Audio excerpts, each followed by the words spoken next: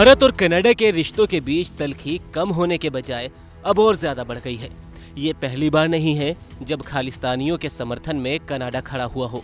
लेकिन इस बार Justin Trudeau ने एक आतंकी के समर्थन में भारत के खिलाफ अंतर्राष्ट्रीय माहौल बनाने की कोशिश की।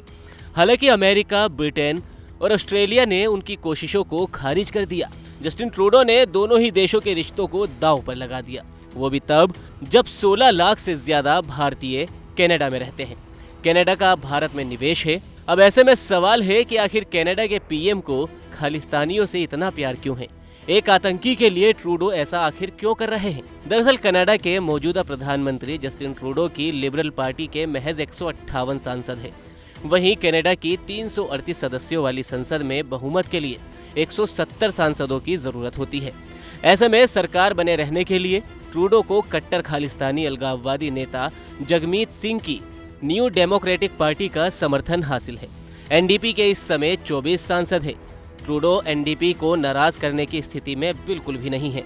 साल 2019 और 2021 के चुनाव के नतीजों ने ट्रूडो को खालिस्तानी अलगाववादी नेता और उनकी पार्टी पर पूरी तरह से निर्भर कर दिया है। ट्रूडो और एनडीपी का कॉन्फिडेंस एंड सप्लाई समझौता साल 2025 तक चलेगा।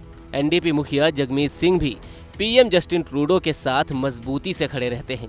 इसकी बानगी तब देखने को मिली जब कनाडा के चुनाव में चीन की दखलंदाजी के शक पर विपक्ष ने जाँच की मांग की।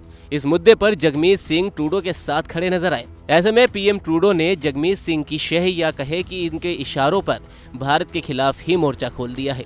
यही नहीं, ट्रूडो कनाडा में खालिस्तानी गतिविधियों को भी पूरी तरह से शे दे रहे हैं। बताते चले कि कनाडा में इस समय करीब सात दशमलव सात पाँच लाख सिख है।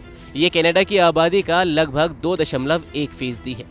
ब्रिटिश कोलंबिया में सबसे ज़्यादा भारतीय रहते हैं। ओंटारिया में एक दशमलव आठ ज़ीरो लाख भारतीय रहते हैं। ट्रूडो भी दावा कर चुके हैं कि उन्होंने सबसे ज़्यादा सिखों को अपने मंत्रिमंडल में जगह दी है।